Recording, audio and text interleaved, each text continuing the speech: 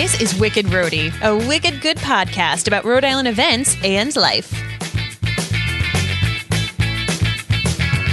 Hello, everybody, and welcome. My name is Mary Larson. And I'm Ben DeCastro. Thanks so much for joining and tuning in to the podcast Roaded Best of Rhode Island by the readers of Rhode Island Monthly.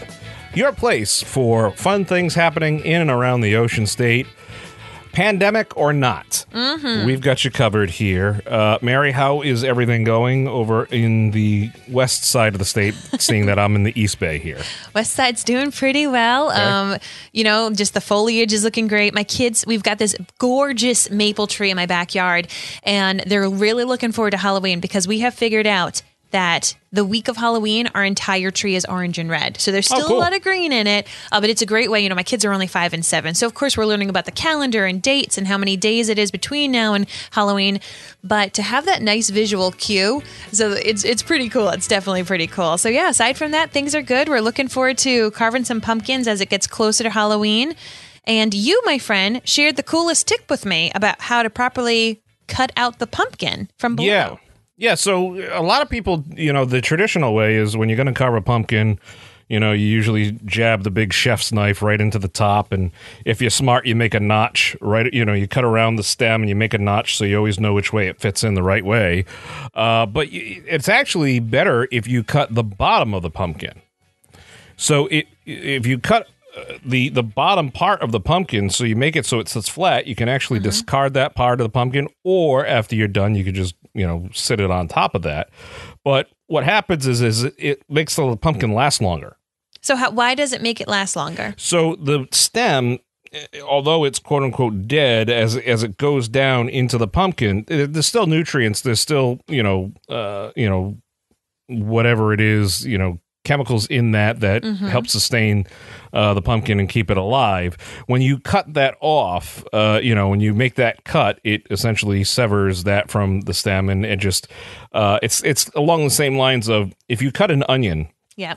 And if you cut the roots off right away, the onion will be very watery. You'll get it'll start it'll start you know the juices will come out. However, if you cut the onion and you leave the root uh, attached as as long as possible, like you make all your cuts and then you do that last final cut to cut the root off, then all the juices, then you won't cry as much. So I had So. no idea about that either. Well, you know, that's what we're here for at Wicked Rhody. It's tips on cutting onions, pumpkins, and what you can do uh, with your life. So, yes, that's the other thing. And and plus, if you want to put a light, uh, I don't suggest a candle. I suggest using like a little battery powered light. But if you do use a candle, at least now you're sitting it on a level surface, that being the front steps or on a plate with a little bit of water in it or something. Yeah, just, just uh, yeah. So that's the. Uh, so leave the stem intact. It looks cool. It looks good too. You know, obviously when you leave the stem intact, it, it looks. You know, you don't notice the bottom being kind of kind of lopped off, and it just you know uh, you're you're only talking an inch or so. So it's, Yeah. uh,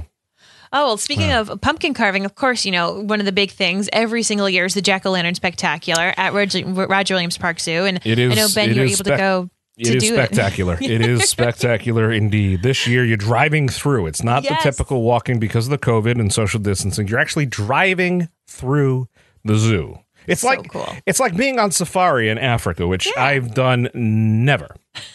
I was picturing Jurassic Park, you know, like you're in the Jeep and you drive by the dinosaurs until they start to attack you. But yeah, this is, you know, whether you're able to go in the car and have this really cool, different experience. Um, but if you are not, heading on over to the zoo, or maybe you'd like to do something a little extra, there's this really cool event that I wanted to make sure people knew about. It's happening Sunday from 7 to 9. It's a jack o' lantern spectacular carve with the masters class. Oh. So, of course, Ben, I mean, you and I have both gotten to meet some of these master carvers through our different activities, and they are going to be sharing some amazing tips these artists will actually give you. So part of, it is a ticketed event. You need to purchase it. Um, we'll have the information on our website. But basically, you're going to get a pumpkin, a 10 piece pumpkin carving toolkit. And let me tell you, this isn't like something you get at the dollar store. I was checking it out. These are legitimate tools that you will be able to use every single year for your pumpkin carving needs. Um, they've been customized and sharpened by the professional carver. So it's pretty Wow. much like you get to be the artist at Jack o' Lantern Spectacular. So the pumpkin uh, design is going to be a red panda, and it's going to give you access to this virtual class. Um, they're going to teach you everything. There's going to be a cool reusable tote bag, the hand uh, pan picked pumpkin. They're going to give you the light bulbs and an extension cord and uh, a biodegradable tablecloth protector and a fine point sharpie. Like literally everything you need is going to be included in this bag for you to have an exceptionally carved pumpkin. So they are suggesting that um, you know it's ages 13 plus just because you're using sharp tools, of Sure. course.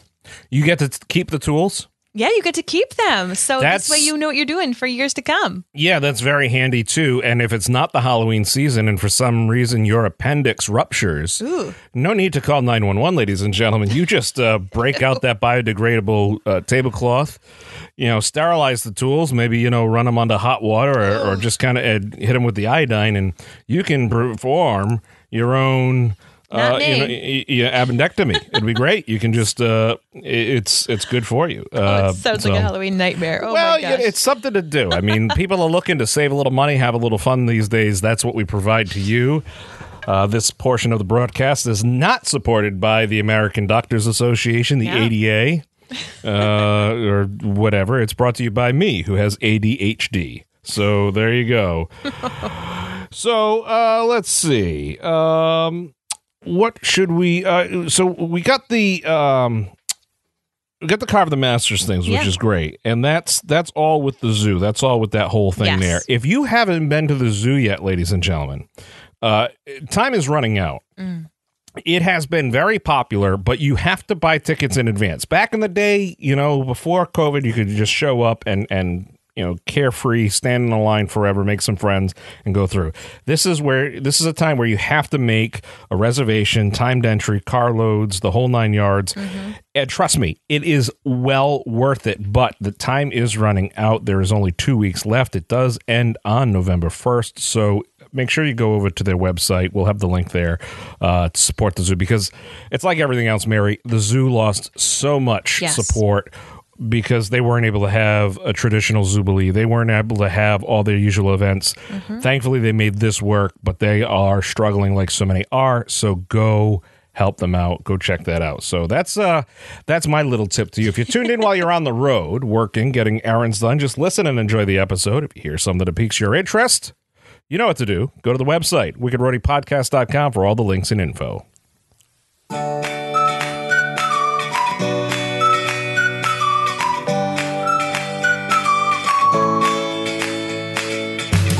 So, kicking things off and wicked fun in the 401, I wanted to let you know about this cool event happening Saturday.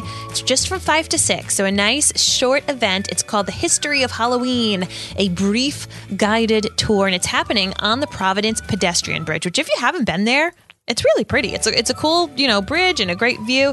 So basically, what's going to happen is this gentleman, Dave Alves, um, he is a new amateur historian and Halloween enthusiast. So he spent the pre the previous decade or so being a musician right here in the New England area, um, and he actually has a degree. Get this, Ben, in Celtic archaeology. He's like the Celtic uh, Indiana Jones Wow.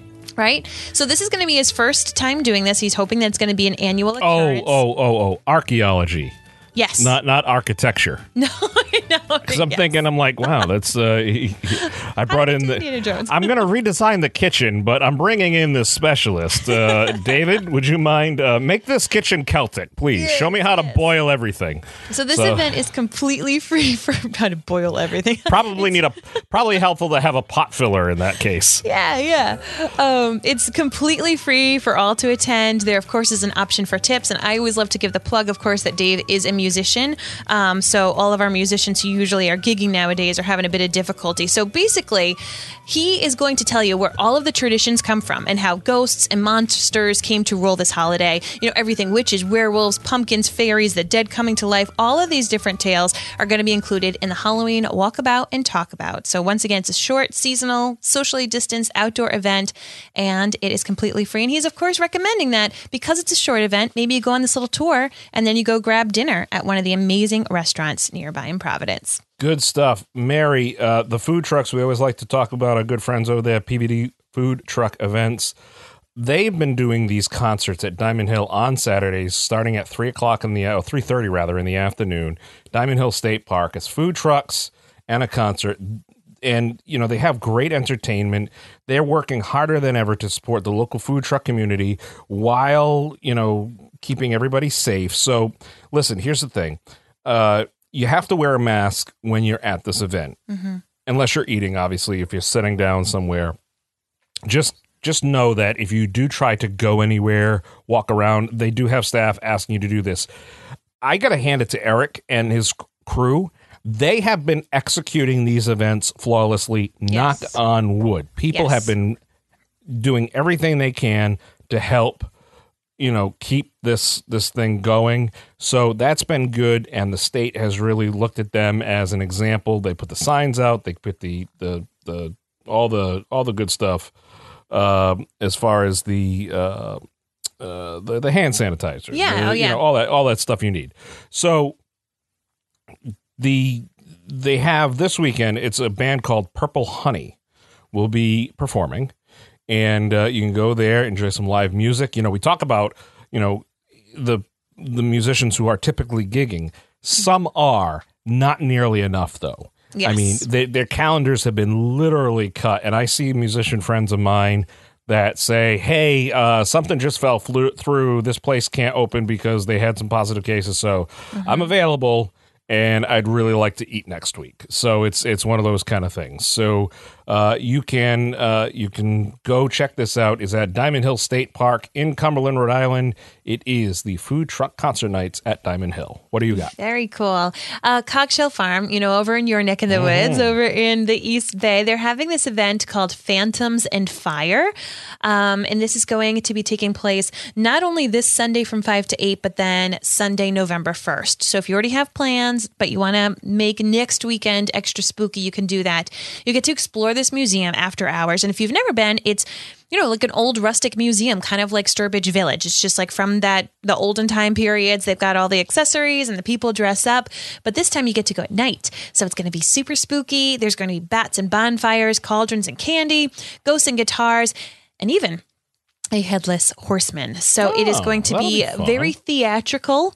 Um, you know, they're going to be having some different kind of performances. Um, one that is called Nevermore, of course, fantastic terrors of Edgar Allan Poe. And as I said, the headless horseman, he's going to be riding around. So you got to, you know, keep your eyes up for that. So it's just a different take on, you know, uh, doing something spooky. I know some people go to corn mazes and things like that. And this one just is a bit more historical and it's mm-hmm. just going to be a fun event. So once again, it's taking place this Sunday and also next Sunday at Coggeshall Farm from 5 to 8. All right, heading over to the west side, as it were. It is the second annual Pupper Treat at BJ's Restaurant and Brew House. Now, this is being hosted by Operation Possibility Project in association with BJ's Brew House. Delicious, great restaurant. Uh, but they are, this is an idea for you to bring your pup, your four legged friend. Uh, they can wear their costume you can the kids can wear their costumes as well it's free to the public and you know they'll be taking donations uh, to help with the uh, monetary and supplies uh, of dog food dog treats blankets and such over there so this is a it's a different kind of event. They got a giant parking lot over there that you can They just do. kind of walk through and, and check it out. Uh, so go check it out. It's the second annual pupper treat of course throughout this entire pandemic so many of these organizations like the zoo like the food trucks like the musicians everybody we've been talking about especially the animals uh, they've been hard hit. So operation possibility project working hard to help keep our four-legged friends happy and healthy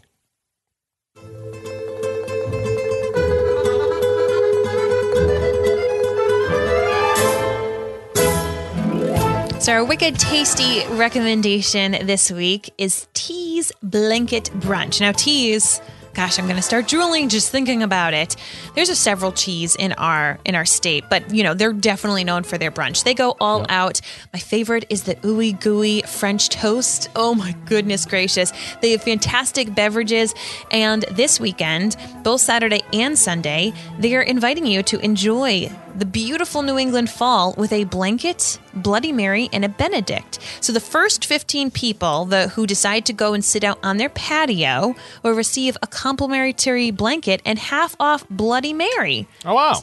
Yeah, so you need to be, of course, 21 or over because they're giving you alcohol. But I just love this idea. You know, it is a wee bit brisk in the mornings, but we're hardy New Englanders. You know, we can Yeah. wear a coat, we can throw on our Ugg boots. We've been wearing them since, you know, September anyway. And then they give you a little snuggly blanket and a drink that should help warm you up from the inside. So this is happening, of course, um, as I said, both Saturday and Sunday. And as long as you get there and you're one of the first 15 people, you're going to get that cozy blanket and half off Bloody Mary. Now I've been thinking about the fact that the Snuggie, as much as many people made fun of them when they first came out, you know, the Snuggie, which is the blanket with sleeves. I have Those, one. those, oh, of course you do. It's Harry Potter themed. Uh, well, uh, naturally, color me surprised on all of this stuff. I mean, it's uh, you know, my word. I like it just uh, so many questions, so little time. Folks, subscribe to all the Mary and Blake podcasts. You'll of learn so much about this wonderful family, my friends. Um, so the Snuggie, uh, you know, you could you could be, you could have that out there Yeah. uh, at these different uh, events because you know you got your sleeves and everything. My only concern is because the sleeves aren't tapered. Correct. So you need to you need to get tapered sleeves. So if you reach over for a beverage or something, you're not knocking something. Just maybe get an elastic. You know, pop the elastic on, bada bing, bada boom. You're There good go. to snuggle and eat. It's, it's it's it's magical. God, do we need a cure?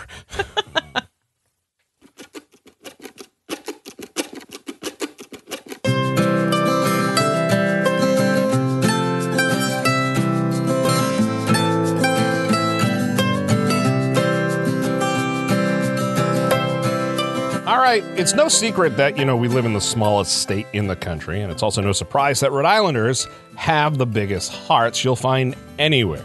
Every day, our family, our friends, people across our communities are giving their time by volunteering. And Mary, that's why we partner with the United Way of Rhode Island. That's right. Well, especially now during these unpredictable times, it's more important than ever to lend a helping hand if you're able, particularly in support of our most vulnerable neighbors. So please consider the needs of these three local organizations. All right, first up, Dare to Dream Ranch, located in Foster. I've been to this place. It is incredible. It is is really something special. They off, they offer no cost equine therapy programs for service members, veterans, and their families who experience PTSD, anxiety, and depression. They need volunteers able to assist with fundraising efforts as well as fall ranch cleanups. So you got to be 18 or older to do that. What do you got? Judy's Kindness Kitchen, located in Providence, they're looking for volunteers to help prepare sandwiches on Sunday mornings that will help feed people at both Crossroads and Emmanuel House. All ages are welcome, and those who are younger than 16 must be accompanied by an adult. So, this is a great opportunity. You know, if you do have kids in your life and you want to teach them about helping other members of the community, uh, this one at Judy's Kitchen, uh, Kindness Kitchen, is a great one to check out. Fantastic. The Empowerment Factory is a Pawtucket based nonprofit dedicated to advancing children's creativity, self esteem, and social emotional skills. They're looking for volunteers to support its social media efforts, as well as virtual interns to help bring arts and programming to youth. So if you want to get involved with the Empowerment Factory, very, very worthy cause over there. Mm-hmm. To learn more about the United Way of Rhode Island, or if you're in need of assistance, you can visit their website or simply dial 211 and get connected to the help that you need.